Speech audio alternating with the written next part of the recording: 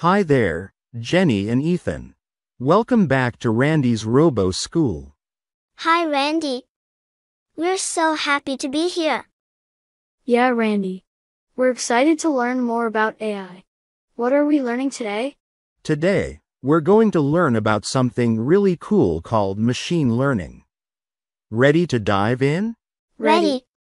Machine learning is a special kind of AI where computers learn from data. It's like teaching a robot to do something by showing it lots of examples. Do you think you could teach a computer to recognize your favorite toy? How do computers learn from data? Great question, Jenny. Imagine you're learning to recognize animals. You look at many pictures of cats and dogs, and you learn to tell them apart. Computers do the same thing, but they need lots and lots of pictures to learn from. So, can we help computers learn? Absolutely, Ethan. Just like your brain learns from every book you read, computers learn from all the data they see. Think of machine learning as a student in school. The more it studies, the better it gets. It learns from data, which is like homework for computers. So, does the computer get better with practice, like we do? Exactly, Ethan. Just like you get better at math or reading with practice, computers improve at their tasks by learning from more data. Imagine practicing your multiplication tables. The more problems you solve, the faster and more accurate you become. Can we see an example? Sure, Jenny. Imagine you're sorting your toys by size and color. The more you practice, the faster you get. Computers do the same with data. There are different types of machine learning. Let's start with supervised learning. It's like having a teacher who gives you the right answers to learn from. How does that work? Imagine you have a bunch of pictures of animals, and each picture is labeled with the correct animal name. The computer uses these labeled pictures to learn how to recognize new pictures of animals. Each new picture helps it get better and more precise at identifying animals correctly. The more examples it sees, the smarter it becomes. Let's look at some more examples of supervised learning in real life. Yes, please. please. For supervised learning, think about voice recognition on your smartphone. When you speak into your phone, it understands what you're saying because it has been trained with many voice samples. These samples are recordings of people talking, each labeled with the correct words they are saying. By studying these labeled recordings, the smartphone learns to recognize words and sentences when you speak. This process helps the phone get better at understanding different voices and accents over time. What other examples are there? Another great example is facial recognition technology. The computer learns to recognize faces by being trained with lots of pictures of people's faces, each labeled with the person's name. Like, when our camera knows it's me or my sister? Yes, Ethan. Also, self-driving cars use supervised learning to recognize objects on the road. They are trained with thousands of images of cars, pedestrians, and road signs, all labeled correctly. So, when the car is driving, it can see and understand what's around it, helping it to make safe driving decisions by knowing where the other cars, people, and signs are. That's really cool. Any more examples? Sure. Another example is in medical diagnosis. Computers are trained with labeled images of X-rays to learn how to identify diseases like pneumonia or fractures. Wow, machine learning helps in so many ways. It sure does, Ethan. Remember, supervised learning is like having a teacher who helps computers learn from examples, just like your teacher helps you. I hope by now you have a very good understanding on supervised learning. Yes. Let's move on to the next type of machine learning, called unsupervised learning.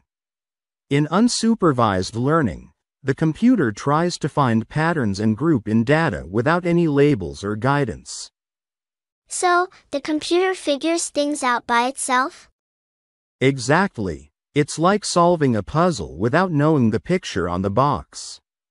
The computer looks for similarities and groups the data based on those. Like, sorting our toy cars by color or size, without anyone telling us how?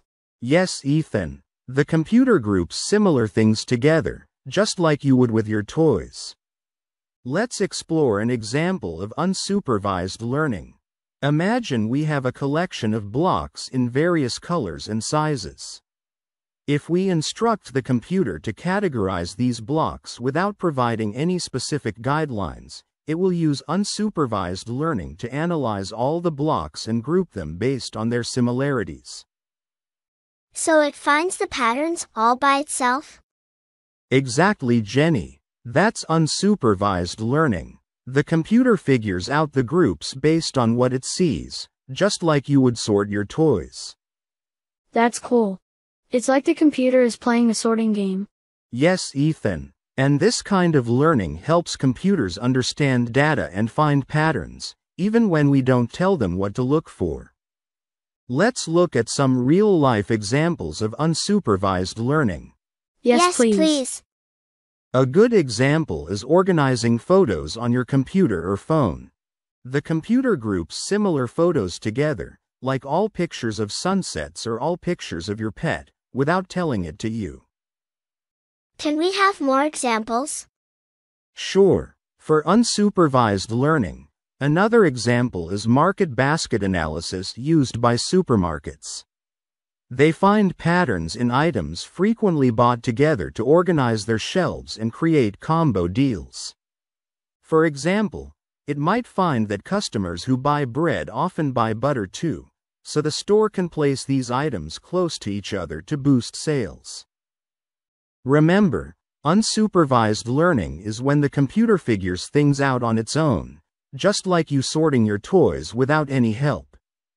I hope by now you have a very good understanding on unsupervised learning. Yes.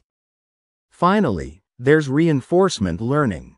In reinforcement learning, the computer learns by doing something and getting rewards or penalties. Like playing a video game and getting points for doing well?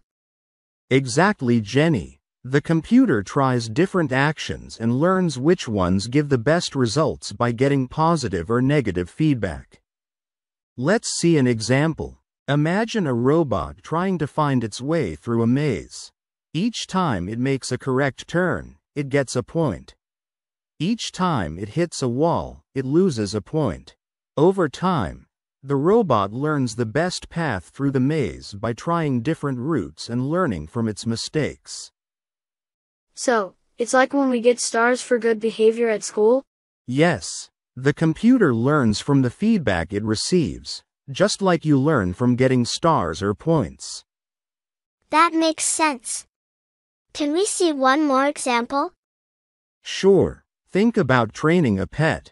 When the pet does a trick correctly, it gets a treat. If not, it doesn't. Over time, the pet learns to do the trick to get the treat. That's reinforcement learning. Let's look at some real-life examples of reinforcement learning. Yes, yes please. please. A good example is recommendation systems, such as Netflix's movie suggestions. These systems improve their recommendations with increased user feedback, learning from viewing choices and the ratings users provide. That's really cool. It is. And video game AI is another example. Game characters learn to become better opponents by receiving rewards for winning and penalties for losing, making the game more challenging and fun. Wow, machine learning is everywhere. It sure is, Jenny. It makes our lives easier, safer, and more fun. Remember, reinforcement learning is when the computer learns from rewards and penalties, just like you learn from getting points in a game or stars at school. I hope you enjoyed learning about machine learning today. Remember, it's all about teaching computers to learn from data and get better over time. Thanks, Randy. This was so interesting. Yeah, I can't wait to see more machine learning in action. I'm glad you enjoyed it. Keep being curious and exploring new things every day. See you next time at Randy's Robo School.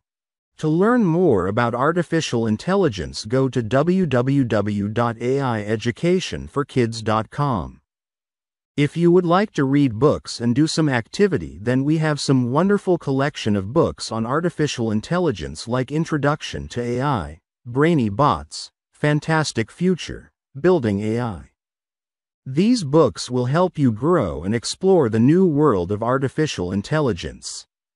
You can find all the links and details in the video description below.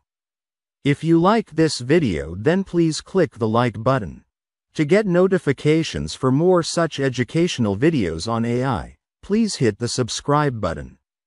See you next time.